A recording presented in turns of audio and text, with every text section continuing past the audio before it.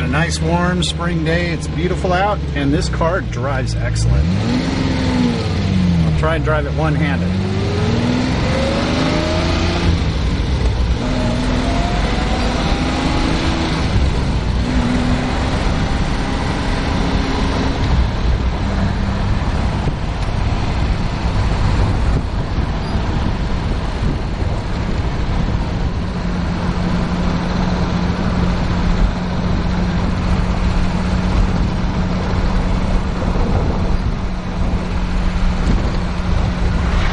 We're on a pretty bumpy road, and the suspension is just super nice. Goes over the little dips and bumps in the road without a problem.